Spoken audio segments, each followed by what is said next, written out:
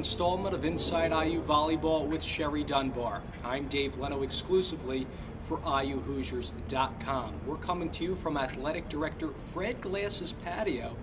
And Coach, uh, I don't know how uh, he can do all the work that he does. He does nice work. Obviously, we see the big scoreboard out behind us, but uh, I wouldn't be filling out a lot of paperwork if I were sitting here. I'd be getting my suntan lotion out and uh, sitting outside. But yeah, you can see behind us that's a new $2 million scoreboard. I think as he called it, ginormous. Um, it's amazing. I saw it at the first football game when our team was introduced, and um, it's one of the best in the country, and it's one of the largest in the country. So we're, we're really, really happy with it. How much do you communicate with the upper administration? Not only athletics director Fred Glass, but we also saw President Michael McRobbie and his wife Lori out at a recent IU matchup. So, uh, how much do you talk with them about the program? Um, with Fred, we talk once a week. We have weekly meetings with um, Bill Lynch and Tom Crean and, and Felicia Jack and myself.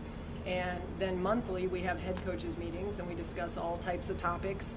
Um, and then Janet Kittles, our associate athletic director, and I talk to her on a regular basis. And then it was fantastic to see the president and his wife come. That was their first volleyball match, and we're hoping to get them to come back for more. But they're, you know, especially Lori, she's a huge supporter of women's athletics, and we just appreciate everything they do. And, and I think they're really buying into the 24 Sports One team, and he's trying to get around to see all of the athletic teams, so that's fantastic this past weekend another tournament non-conference title in Lewiston and Buffalo, New York, and you played with a lot of different rotations. And what combination or what rotation stood out to you?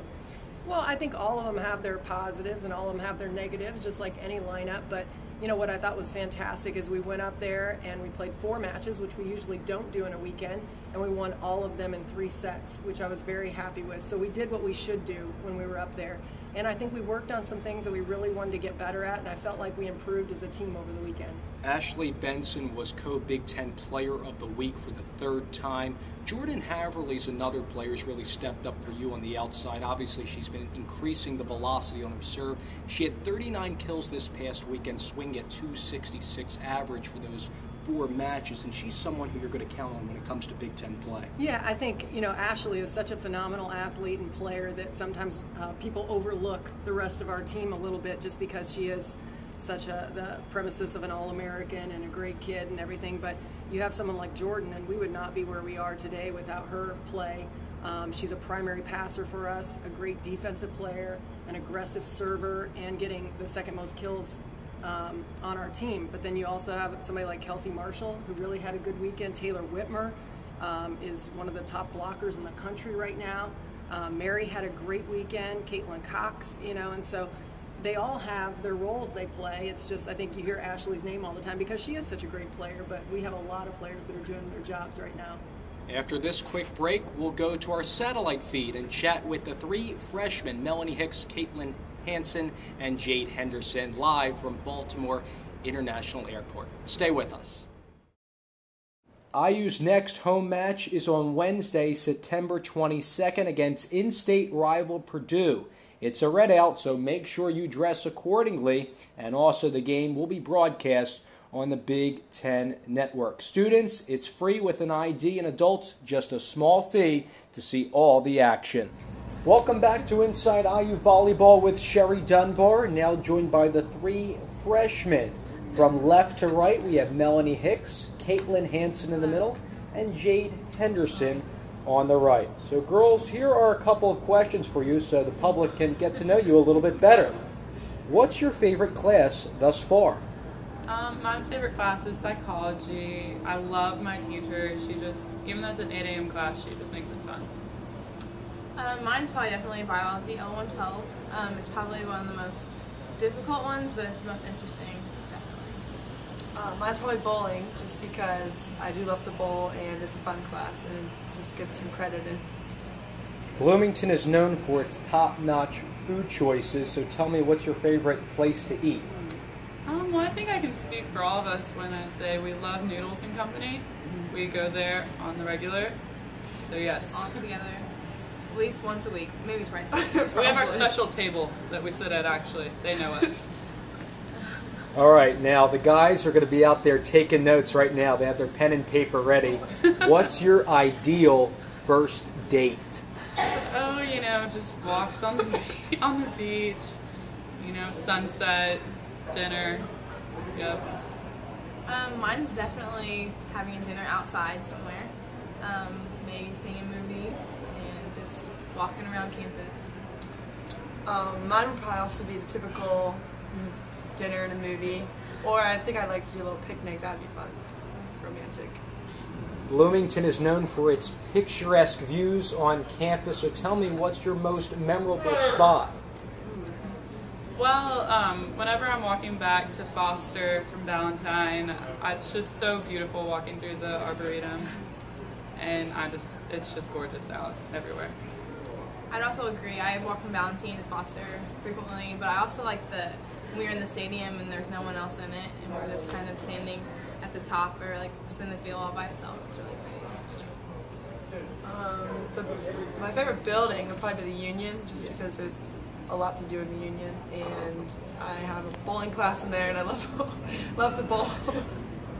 So, what's the sport you'd play aside from volleyball if that wasn't an option? Um, I'd say I'd swim if I didn't do volleyball, just because I did it all through my life, and I actually kind of miss it sometimes. But so swimming. Um, I'd probably have basketball. That was another big sport I played in high school, and I just like basketball a lot. I would probably do dance because that's like my favorite thing to do, other than play volleyball. So. All right, guys, finally to close, and arguably the most important question to end this discussion. You know, why'd you pick IU? Why sport the cream and crimson?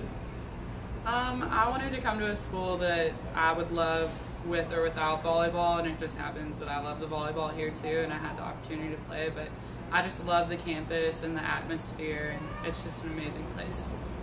Well, I'm originally a Hoosier, so I definitely wanted to stay close to home, and um, I definitely want to play something with really high competition, and this is the best choice for me.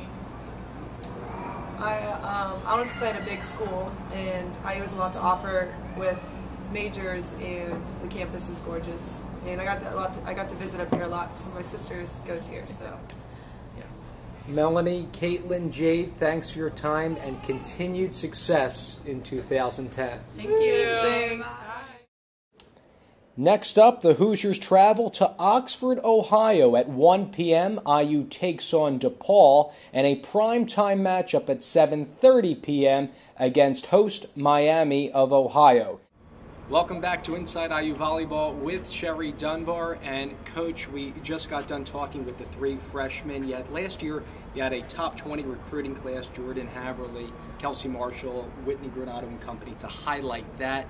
But these freshmen certainly aren't playing like freshmen. No, it's so great that they've come in, and I think they weren't highly touted or anything. And and you know, I don't think you can really judge how good freshmen are going to be just by saying they're a top 20 recruiting class. You know, I think that they all make impacts in their own ways, and ours has certainly made that impact on the floor. Um, Caitlin Hansen and Melanie Hicks are playing a tremendous amount. Jade Henderson earned the starting position uh, when we started with Georgia Tech, and then she got hurt during the match, but now she's starting to come back from that. So, you know, those three, not only just in their play, but they are fantastic kids um, that add a lot to our program with their personalities and their drive and practice and how competitive they are.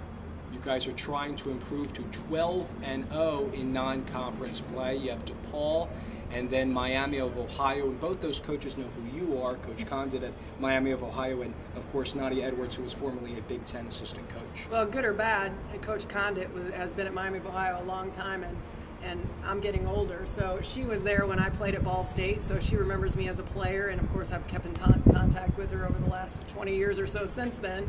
Um, but she's done a fantastic job. She's built a great tradition there at Miami of Ohio, and and always has a really feisty defensive team. So I'm really excited to play them. And then DePaul out of Chicago, um, the coach there, Nadia Edwards, was an assistant at Ohio State.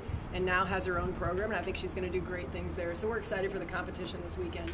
All right, that's going to do it for this episode of Inside IU Volleyball with Sherry Dunbar. On behalf of Coach Dunbar, Melanie Hicks, Jade Henderson, Caitlin Hansen, and the man behind the plan, Kyle Coleman, I'm Dave Leno. Best wishes, everyone.